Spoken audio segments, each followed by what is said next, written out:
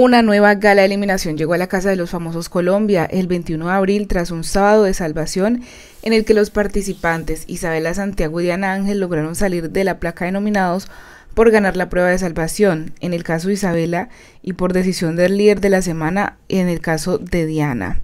Los cinco participantes en riesgo de salir de la competencia, Miguel Bueno, Pantera, Omar Murillo, Mafe Walker y Sebastián, tuvieron el tradicional bronze previo a la temida gala de eliminación en la Casa de los Famosos Colombia. En este espacio los famosos nominados pudieron exponer sus pensamientos y limar entre estos algunas asperezas y malos entendidos que tuvieron en la competencia. Sin embargo, los famosos se vieron sorprendidos cuando el teléfono volvió a sonar en la gala en vivo el 21 de abril y el encargado de contestarla fue Sebastián González, quien tenía el beneficio de sacar a uno de los dominados de la placa sin pensar dos veces decidió salvar a Mafe Walker.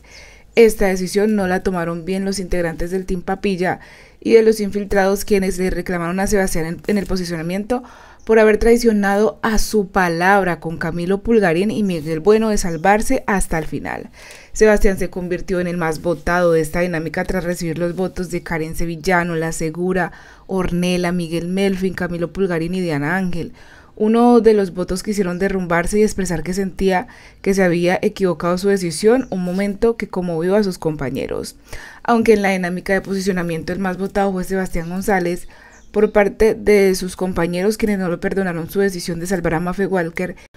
el que tomó la decisión fue el público y los televidentes del reality del canal RCN y Beats. Con un porcentaje del eliminado por parte de los televidentes fue el actor Omar Murillo, conocido como Bola 8, quien dijo adiós a la competencia tras solo recibir el 11,37% de los votos. Tras su eliminación, el actor tuvo que tomar la decisión de mandar a eliminación a uno de sus compañeros de la Casa de los Famosos, a Pantera. ¿Qué opinan ustedes?